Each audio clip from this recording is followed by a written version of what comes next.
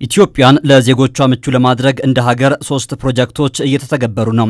የችግኝ ተከላ፣ የወንዝ ዳር ዳርቻ ልማትና በየወሩ የሚደረግ ከተሞችን የማጽዳት ዘመቻ።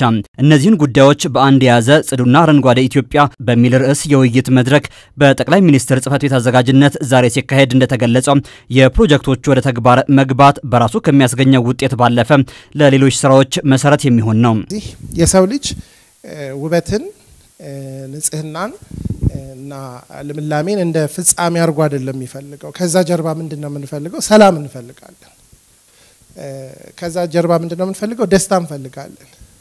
ከዛ ጀርባ ምንድን ነው የምንፈልገው? dignity ተከብረን የስብዕና ክብር እንፈልጋለን። ስለዚህ አሁን እነዚህ ነገሮች ወደዚህ ወደ ጥልቁ ወደምንፈልገው የነፍስ ረሃብ ወደሆነው ነገር ካልተረጎምናቸው እሺ ንጹህ ሆነ so what እሺ አረንጓዴ የሆነ ሀገሩ ሁሉ ምን ስለዚህ ግን ወደ ሰላም፣ ወደ ደስታ፣ ወደ ተስፋ እነዚህ ነገሮች ስንመጣ የሁላችንም ረሃብ ስለሚሆኑ ይሄንንም ማሰብ አስፈላጊ ነው። በመጪው ክረምት በሀገር አቀፍ ደረጃ አራት ቢሊዮን ችግኝ ለመትከል ታቅዷል። ይህም ስራ ከወዲሁ በአንዳንድ አካባቢዎች ተጀምሯል። የተፋሰስ ልማት ስፍራዎች፣ ጥብቅ ደኖች፣ ከውሃ ጋር በተያያዙ አካባቢዎች እንዲሁም በእያንዳንዱ ግለሰብ መኖሪያ አካባቢ የችግኝ ተከላው ይካሄዳል።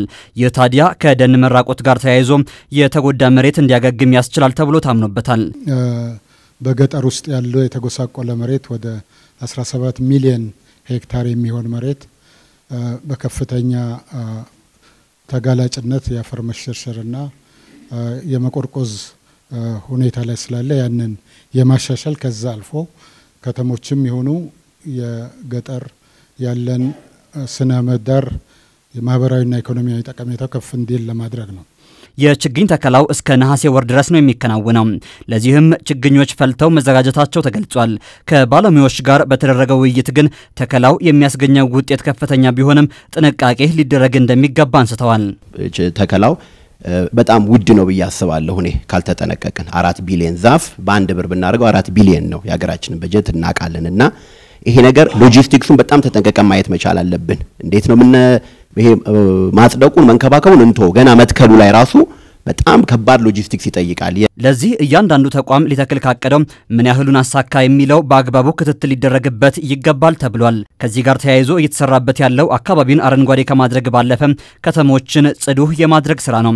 በጠቅላይ ሚኒስትር ዶክተር አብይ መሪነት በየወሩ ከተሞችን የማጽዳት ስራ ከተጀመረ አሁን ላይ ወራት አልፈዋል።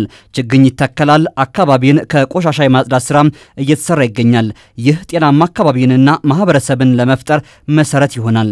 እነዚህ ሶስት ፕሮጀክቶች ተግባራዊ በማድረግ በተለይ በጤና ደግሞ ንጽህናን፣ ጽዳትን በመጠበቅ የግል ንጽህናን፣ የአካባቢ ንጽህናን እንደዚሁም የሀገር ንጽህናን በመጠበቅ መከላከል እንችላለን።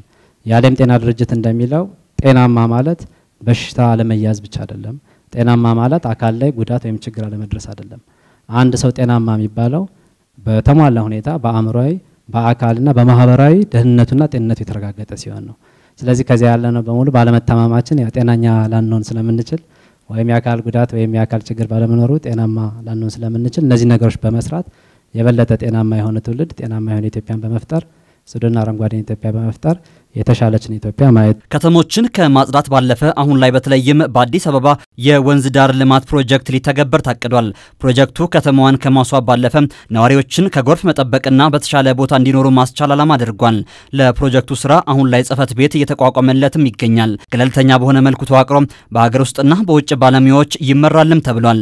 አዲስ አበባን አረንጓዴ ከማድረግ ስራው አስቀድሞም ወንዞችን የማጽዳት ስራው ከወዲሁ እንደሚጀመርም ተገልጿል። አረንጓዴ ማድረጉ የመጨረሻው ስራ ነው የሚሆነው። ከዛ በፊት ግን ወደ ወንዙ የሚገቡት ፍሳሾች፣ ቆሻሻዎች እነሱ እነሱ እንዴት ነው የምንከላከለው? መንገዶች በአብዛኛው walkway ኦቻችን አሁን pavement እየተሰራላቸው ነው። ድሮ መሬቱ ይመጣው የነበረው ውሃ አሁን ተንከባሎ ውስጥ ስለሚገባ downstream ታች ያሉት ሰዎች በጎርፍ የመጠቃት እንትናቸው ከፍተኛ ነው። ከዛ በተረፈ ደግሞ ያለው የኢንዱስትሪ ኬሚካል እየገባ ለአትክልት ሲጠቀሙበት ያው አብዛኛዎቻችን ከተማው ላይ የምንገዛው አትክልት ሀብታም ነው ደሃ ነው አይለይም፣ ያው እንበላዋለንም እንታመማለንም። ስለዚህ እነኚህ ነገሮች እንዴት address እናርግ ለሚለው የመጀመሪያው ስራ የወንዙን የመሸርሸር ወንዝ ዳር የመሸርሸር አደጋን ለመከላከል erosion control በ gabion በሚባል ድንጋይ ተሞልቶ በሚሰራ structure ግንብ አይደለም ግን gabion ማለት በድንጋይ በ cage ውስጥ እየተሞላ ውሃም ቢያገኘው permanently መቀመጥ የሚችል የማይጎዳ structure ነው። እነሱን ሰርቶ መጀመሪያ የ river ኡን መሸርሸር የወንዙን መሸርሸር መከላከል ነው። ከተሞችን ጽዱ የማድረግ ስራው ከአዲስ አበባ በተጨማሪም በሁሉም የክልል ከተሞች እንዲሁም የህዝብ ቁጥራቸው ከ200 ሺህ በላይ በሆኑ ሁሉም ከተሞች የሚሰራ ስራ እንደሆነም ተነግሯል። ተወያዮች ታዲያ ስራው ውጤታማ እንዲሆን ማህበረሰቡን ባለቤት ማድረግ ላይ ሊተኮር እንደሚገባ አንስተዋል። በተለይም አዲስ አበባን የማስዋብ ፕሮጀክት ከትልቅነቱ አንጻር በአግባቡ ሊመራ እንደሚገባ ነው የገለጹት። ማህበረሰቡን ማማከር፣ ማስተማር ማይንሴቱን ማነጽ በጣም ወሳኝ ነው። ካለ ማህበረሰቡ የሚሰራ ስራ ስለሌለ ይመስለናል በጣም ብዙ ገንዘብ እናወጣለን። ባለቤትና አስቀጣዩ ግን ተጠቃሚው ግን ማህበረሰቡ ነው። ይሄ ትልቅ የፕሮጀክቱ በጀትም ጊዜም ተመድቦለት ሊሰራ የሚገባው ነገር ነው። የሶስቱ ፕሮጀክቶች መተግበር በዋናነት መኖሪያ አካባቢን ለዜጎች ምቹ የማድረግ ዓላማ ይኖራቸዋል። ከዚህ ባለፈ ደግሞ አሁን ላይ በሀገሪቱ ለሞት መነሻ የሆነውን ተላላፊ ያልሆነ በሽታና አደጋ ለመቀነስም ያስችላል። አሁን ላይ ተላላፊ ያልሆኑ በሽታዎችና አደጋ ለሞት ምክንያት ከሆኑ ነገሮች 52 በመቶውን ይዛልና ለስኬታማነቱም ሁሉም ሰው በጎ ፈቃደኝነትን የስራ ባለቤትነት ማሳያ አድርጎ ሊወስድ ይገባል ተብሏል።